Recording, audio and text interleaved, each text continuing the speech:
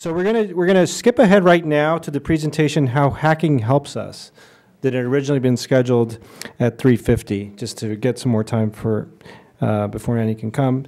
So this I think will be um, uh, this is something that is a subject of great uh, a lot of debate and uh, the word hacking has very different connotations depending on uh, which crowd you are crowdsourcing.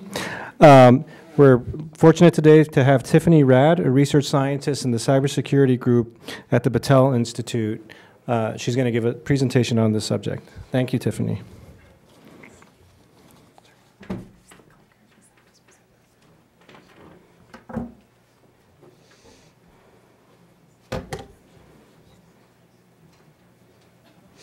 Hi, I'm here talking to you um, sort of with, with two hats that I'm going to be wearing today during my brief 15 uh, presentation. Um, I'm a research scientist at Battelle. I work in their cybersecurity group, and I'm an embedded systems engineer doing some work with them on accessing car computers. And we're evaluating safety and security.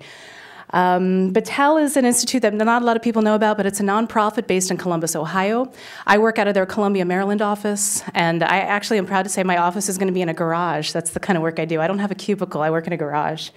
Uh, it's a 501c3 nonprofit, which means about uh, a large portion of yearly profits, about 20% of, um, of the net, goes toward putting money back into education and teaching students and the industry about the type of work that we do. Um, I'm also a founder of a hackerspace, and as, as was mentioned, uh, hacker carries a lot of connotations. Some of you may not have heard it from the, the term that I'm going to be using it, but uh, if you're here at this conference, you know what a maker, uh, makerspace is, hackerspace, kind of the same thing. I take things apart and I figure out how they work, and I work to design them better. Um, we, uh, we have about 250 members online at the Hackerspace, and it's attached to a private high school, so the high school students have access to the equipment in the Hackerspace during the day, and the uh, adults at the Hackerspace come in to use it on nights and weekends.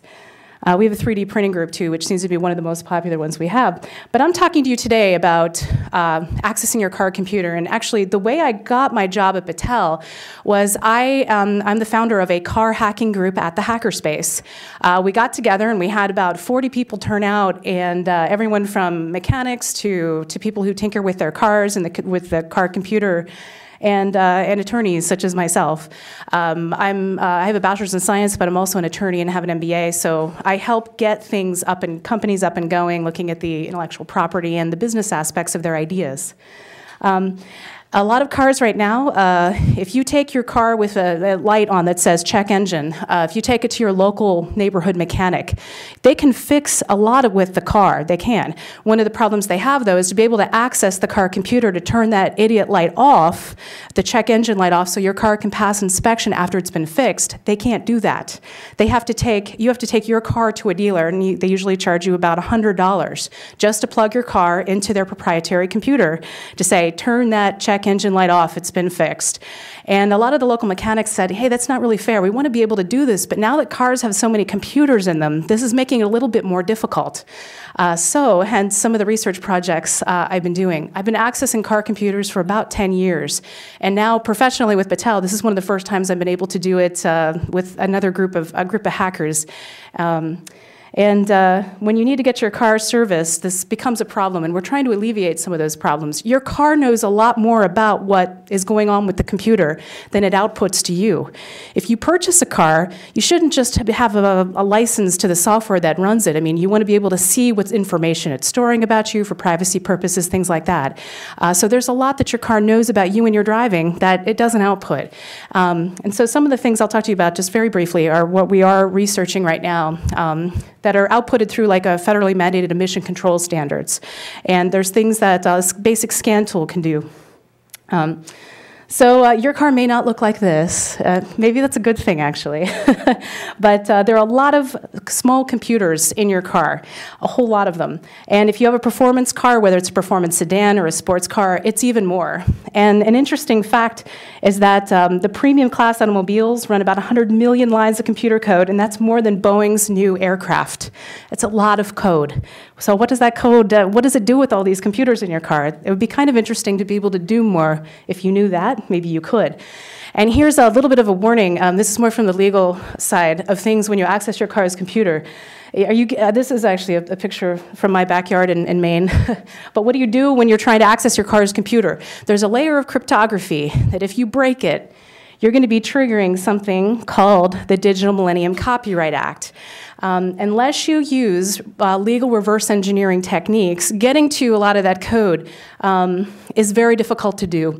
And what's the problem is, is when you're trying to research security or safety aspects of your car, you can't do that without breaking some of the cryptography unless you do the very expensive and time-consuming legal, legal, reverse engineering. So um, the DMCA is one of is, is really the, the, the piece of legislation that we we are evaluating and we look at like how does this affect people that own cars? What how you want to be able to access these things. Um, so um, now, to kind of counter some of the uh, issues, I, I, don't think the DMCA was initially enacted uh, with the intent that it would prevent people from uh, fixing and accessing their car computers. It's kind of just the way that it, uh, that piece of legislation has worked out. So we have the Right to Repair Act.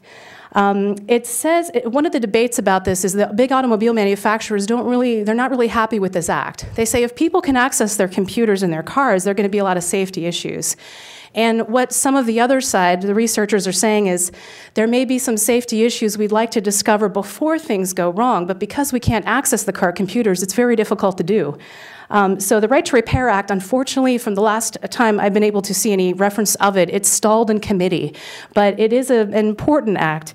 Um, one of the things that uh, the Right to Repair Act allows is that you should have a lot to be able to diagnose and service your own vehicle. Your local neighborhood mechanic will then be maybe on more of an even playing ground when it comes to the dealers. I mean, if you don't want to take your car to a dealer, you should have an option to take it to someone who's local. Um, it'll sell tools and equipment to accomplish the same types of things, like developing scan tools and things like that are, is very expensive, but it need not be. Uh, there are even Arduino projects right now where you can access a lot from your car computers.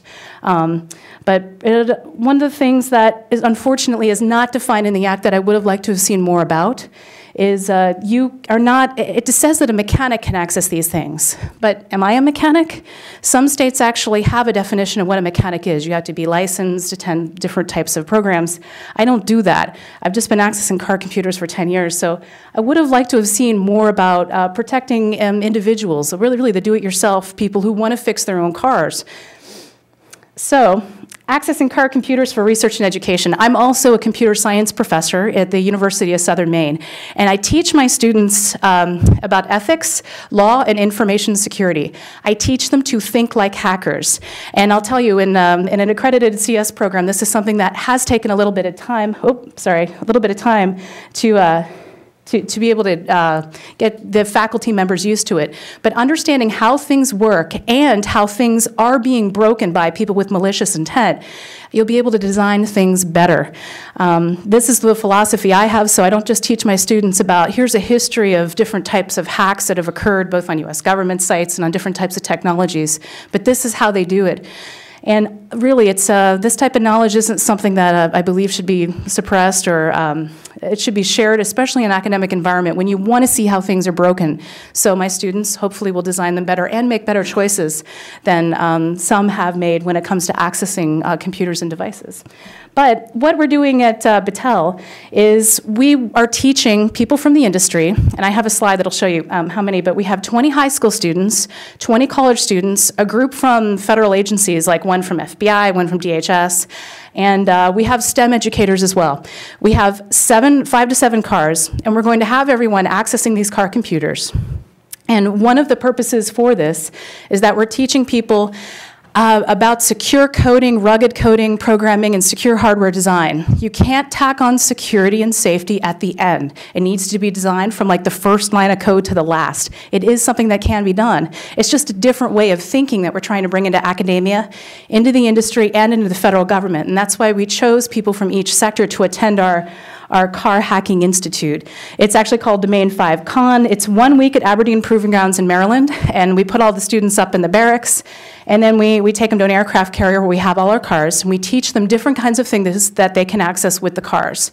Um, we're going to have about five or five to seven American manufactured cars, and uh, we're going to have different types of competitions. It's to get the groups. I mean, in this group would be like a few from high school, a few from college, the government agents, and all working together on a particular goal. And that goal is uh, different types of competitions we're setting up, uh, such as reviewing, uh, you know, how how easy it is to reset the odometer, things like that, the speedometer.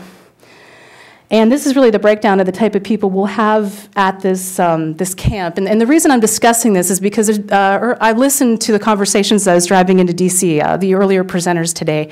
Um, STEM educators, uh, getting them to understand what we're doing in industry and how this will help academia as well. And um, so maybe some of these, these students coming up through the camp, both from the high school and college level, will want to do something similar, join hacker spaces, create new research, new products. But um, uh, one of the things we're doing is also understanding what legal reverse engineering is, what it isn't. Um, but uh, we have a 45 foot uh, trailer that we're going to be driving around the United States. And I, I personally am not going to be driving this trailer, but it's a race trailer with a, car in the back. And the car in the back can be hacked. and uh, the race trailer has this uh, sort of stage that folds out and an awning and chairs.